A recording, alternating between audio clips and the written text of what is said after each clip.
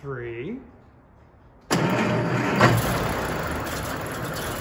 So this is a cold start. Phone cold.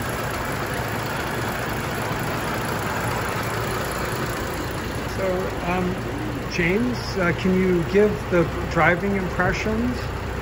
Uh, when I drove this vehicle, it throughout the drive, which is about four miles, it always seemed to have good power at any range.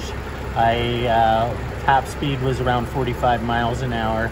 Uh, the, the shifted real well, clutch was smooth, um, and tracked real well. I, it was it was it was easy to drive, which uh, isn't always the case.